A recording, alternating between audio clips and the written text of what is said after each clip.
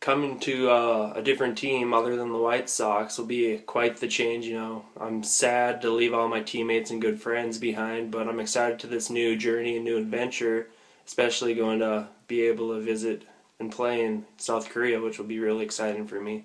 A new culture and environment will definitely be a challenge for me coming from uh, North Dakota to South Korea and a bigger city with about a million people in it or so.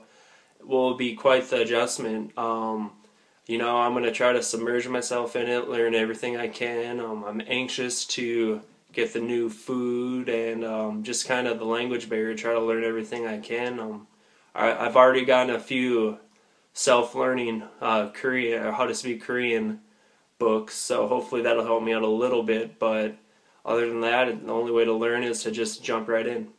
My goals for the 2013 season are to come in and help win. Um, I'm competitive. I want to win every time I'm out there on the mound, and I think if you do that, the stats will fall in place, and it'll be a successful season. I know it's the first uh, inaugural season for the club in the major leagues, and I'm just really excited to be a part of that, and hopefully that we can lead the team to the playoffs and championships.